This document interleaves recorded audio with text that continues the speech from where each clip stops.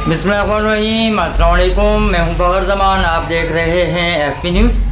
जैसे कि सुबह आपको बता दिया गया था कि आज का दिन 24 अगस्त का दिन सिंध के लिए अहमियत का हामिल है, क्योंकि आज फैसला होना था 28 अगस्त को होने वाले बलदियाती इंतबात के सिलसिले में, और फैसला हो चुका है। फैसला बिल्कुल हसब तो हुआ है, क्योंकि अगर मकामी गवर्नमेंट ना चाहे तो फिर वो काम नहीं हो सकता और कोई भी उसको मजबूर नहीं कर सकता। ज़ाहिर बात है, गवर्नमेंट अगर किसी चीज़ की ज़िम्मेदारी कबूल ना करे तो फिर मुतल इदारे जो हैं वो भी बेबस हो ही जाते हैं। तो बिल्कुल ऐसा ही हुआ है। सिंध गवर्नमेंट ने रिक्वेस्ट की थी इलेक्शन कमीशन को कि 28 अगस्त को होने वाले बलदियाती इलेक्शन हैदराबाद और कराची में मुलतवी कर दिया जाए।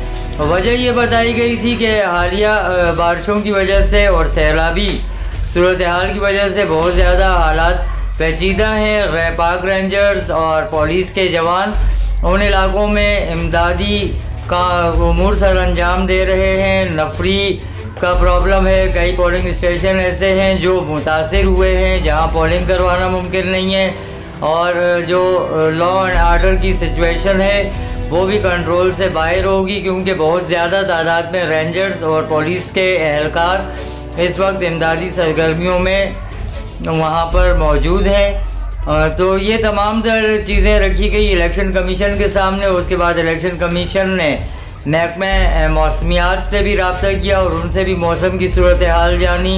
और ये भी है कि बारिशों का भी मज़ीद इम्कान है, पेशन गोई भी की गई है और कल रात से और स्पेशली आज सुबह से बारिश हो भी रही है। तो ये तमाम चीज़ें देखते हुए हैदराबाद का तो कल ही सामने आ चुका था कि हैदराबाद में 28 अगस्त को इलेक्शन मुलतवी हो जाएँगे या कर दिए गए हैं, लेकिन कराची के बारे में भी हतमी तौर पर यह फैसला कर दिया गया है कि 28 अगस्त को इलेक्शन नहीं हो रहे। जी, एक बार फिर हैदराबाद और कराची में दूसरे मरहले के बलदियाती इलेक्शन मुलतवी कर दिए गए हैं और ये दूसरी बार है कि जब सिर्फ़ तीन या चार दिन पहले बलदियाती इलेक्शन मुलतवी किए जा रहे हैं। अब देखना ये होगा कि कब होते हैं ये बलदियाती इलेक्शन और फिर अगर दोबारा की जो डेट अनाउंस होती है, आया कि बलदियाती इलेक्शन हो जाएँगे या फिर ये इसी तरह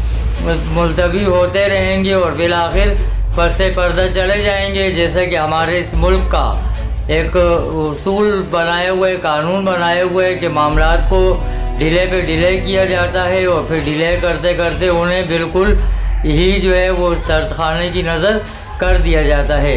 तो जो भी इस हवाले से बात होगी या फैसला होगा इन हम आप तक पहुंचाएँगे। जब तक इजाज़त दीजिए, अल्लाह